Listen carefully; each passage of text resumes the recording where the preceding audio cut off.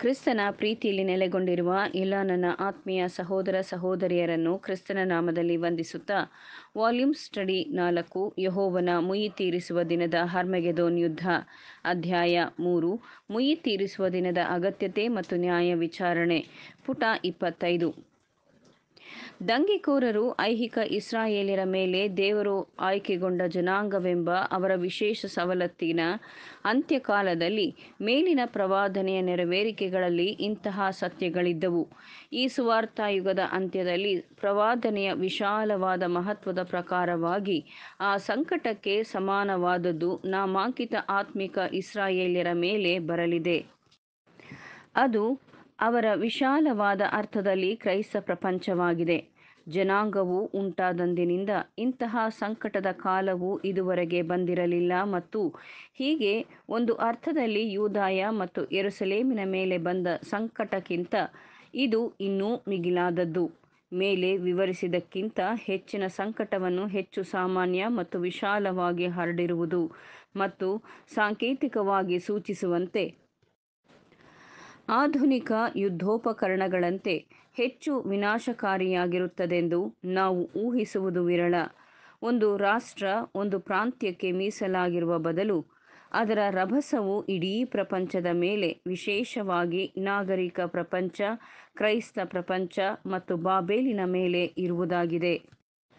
ಆದುದರಿಂದ ನಾವು ಐಹಿಕ ಇಸ್ರಾಯೇಲ್ಯರ ಮೇಲೆ ಬರುವ ಈ ಕ್ರೋಧವನ್ನು ಇನ್ನೂ ಹೆಚ್ಚಿನ ಮುನುಸುಳ್ಳದ್ದು ಮತ್ತು ಈ ಕ್ರೋಧವು ಕ್ರೈಸ್ತ ಯುಗದ ಅಂತ್ಯದಲ್ಲಿ ಪ್ರಪಂಚದ ಮೇಲೆ ಸುರಿಯುವಂಥದ್ದು ಎಂದು ಗಣನೆಗೆ ತೆಗೆದುಕೊಳ್ಳಬಹುದು. ಆತುರದ ಮನೋಭಾವಗಳಲ್ಲಿರುವವರು ಈ ಜನಾಂಗದ ಮೇಲೆ ಸರ್ವಶಕ್ತನ ಈ ಕ್ರಮವು ಅನ್ಯಾಯವೆಂಬ ಒಲವಿರುವವರು ಈ ಸಮರ್ಪಕವಾದ ಪ್ರತೀಕಾರದ ನಿಬಂಧನೆಯನ್ನು ಗ್ರಹಿಸುವುದರಲ್ಲಿ ವಿಫಲರಾಗಿದ್ದಾರೆ. ಅದು ಖಚಿತವಾಗಿ ಕೆಲವೊಮ್ಮೆ ನಿಧಾನವಾಗಿ ತನ್ನ ಅನಿವಾರ್ಯವಾದ ಫಲಿತಾಂಶಗಳಿಗಾಗಿ ಕಾರ್ಯವೆಸಗುತ್ತಾ ಇರುತ್ತದೆ. ನ್ಯಾಯ ಹೌದು. ಅದರ ಅಗತ್ಯತೆ ಮತ್ತು ತತ್ವಜ್ಞಾನವು ಆಲೋಚನಾ ಭರಿತರಿಗೆ ಮತ್ತು ಪೂಜ್ಯ ಭಾವನೆಯುಳ್ಳವರಿಗೆ ಹೆಚ್ಚಿನ ಮಟ್ಟಿಗೆ ಪ್ರಕಟವಾಗುತ್ತದೆ. ಅವರುಗಳು ಅನ್ಯಾಯವಂತನಾದ ದೇವರನ್ನು ದೂಷಿಸುವ ಬದಲು ಆತನ ವಾಕ್ಯದ ಬೋಧನೆಗಳ ಕಡೆಗೆ ತಮ್ಮ ಹೃದಯಗಳನ್ನು ಅನ್ವಯ ಮಾಡಲು ಹೆಚ್ಚು ಒಲವುಳ್ಳವರಾಗಿರುತ್ತಾರೆ. ಮುಂದಿನ ಶೀರ್ಷಿಕೆ ಮಹಾ ಸಂಕಟವು ಮುಂಚಿನ ಕಾರಣಗಳ ನ್ಯಾಯಸಮ್ಮತವಾದ ಪರಿಣಾಮವಾಗಿದೆ. The Great Tribulation's a legitimate effect from preceding causes. ನಾವಿಂದು ಅನುಭವವುಳ್ಳ ಯುಗಗಳ ಉಚ್ಛಾಯ ಸ್ಥಿತಿಯಲ್ಲಿದ್ದೇವೆ ಅವುಗಳು ಕೆಲವು ವಿಧದಲ್ಲಿ ಲೋಕದ ಲಾಭಕ್ಕಾಗಿ ಇರಲೇಬೇಕಾಗಿದೆ ಮತ್ತು ಇರುತ್ತವೆ ವಿಶೇಷವಾಗಿ, ಪ್ರತ್ಯಕ್ಷವಾಗಿ ಅಥವಾ ಪರೋಕ್ಷವಾಗಿ ದೈವಿಕ ಬೆಳಕಿನೊಂದಿಗೆ ದಯೆ ಹೊಂದಿದ ಲೋಕದ ಆ ಭಾಗಕ್ಕೆ ಕ್ರೈಸ್ತ ಪ್ರಪಂಚ ಬಾಬೇಲಿಗೆ ಈ ಪ್ರಯೋಜನದ ವಸ್ತುವಾರಿಕೆಗಾಗಿ ಅವರ ಜವಾಬ್ದಾರಿಯು ಬಹಳ ದೊಡ್ಡದಾಗಿದೆ.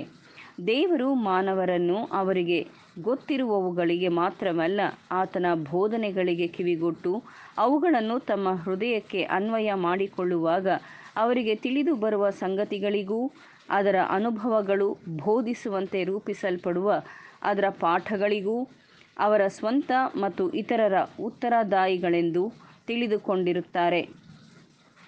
ಮಾನವರು ಅನುಭವದ ಪಾಠಗಳನ್ನು ಗಮನಿಸಲು ವಿಫಲರಾದರೆ ಅಥವಾ ಇಚ್ಛಾಪೂರ್ವಕವಾಗಿ ಅಲಕ್ಷಿಸಿದರೆ ಅಥವಾ ಅದರ ಕಟ್ಟಳೆಗಳನ್ನು ಧಿಕ್ಕರಿಸುವುದಾದರೆ ಅದರ ತರುವಾಯ ಪರಿಣಾಮಗಳನ್ನು ಅವರು ಅನುಭವಿಸಬೇಕಾಗುತ್ತದೆ. ಕ್ರೈಸ್ತ ಪ್ರಪಂಚ ಎಂದು ಕರೆಯಲ್ಪಡುವ ಮೊದಲು ಇದಕ್ಕೆ ಎಲ್ಲ ಹಿಂದಿನ ಸಮಯದ ಮುಕ್ತ ಇತಿಹಾಸವಿದೆ. ಜೊತೆಗೆ ದೈವಿಕ ಪ್ರೇರಿತವಾಗಿ ಬಹಿರಂಗವಾಗಿದೆ. ಅವುಗಳು ಎಂತಹ ಪಾಠಗಳನ್ನು ಹೊಂದಿವೆ? ಅನುಭವದ ಪಾಠಗಳು, ಬುದ್ಧಿವಂತಿಕೆಯ ಜ್ಞಾನದ ಕೃಪೆಯ ಮತ್ತು ಎಚ್ಚರಿಕೆಯ ಪಾಠಗಳು, ಹಿಂದಿನ ಜನಾಂಗದವರ ಅನುಭವಗಳಿಗೆ ವಿವಿಧ ಮಾನವ ಉದ್ಯಮ, ರಾಜಕೀಯ ಹಣಕಾಸು ಮುಂತಾದವುಗಳಿಗೆ ಕಿವಿಗೊಡುವುದರಿಂದ ಪ್ರಪಂಚವು ಐಹಿಕ ಸಂಗತಿಗಳಲ್ಲಿ ಬಹಳಷ್ಟು ಮೆಚ್ಚಿಕೊಳ್ಳುವ ಪ್ರಗತಿಯನ್ನುಂಟು ಮಾಡಿದೆ